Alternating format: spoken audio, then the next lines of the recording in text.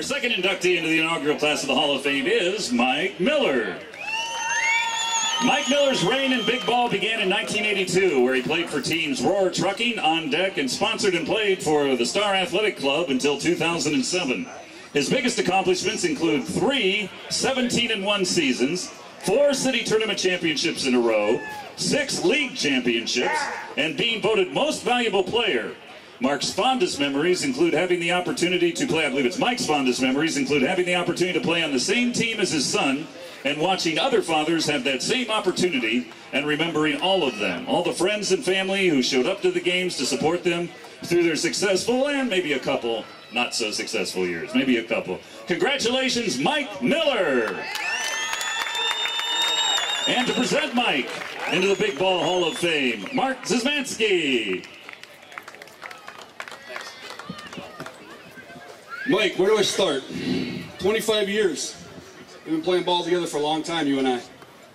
It's been a, a, good, fun, fun team. Uh, Mike's got a heart of gold.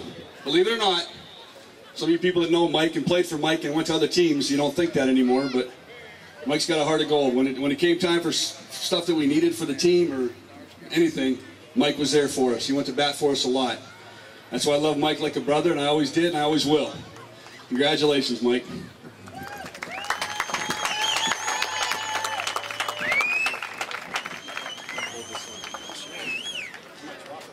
Thank you. Thank you very much.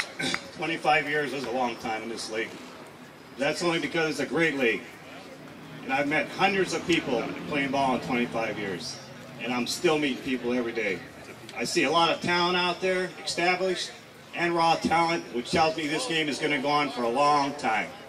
I want to thank Dougie Robinson for taking this league to a new level, a level we needed.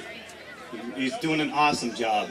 I want to congratulate the other inductees that are here tonight. And I'm sure next year I'll be here shaking hands and congratulating future inductees. This is a big honor for me. I played with a lot of great guys, a lot of great teams. I'll never forget this. This was this made 25 years well worth it.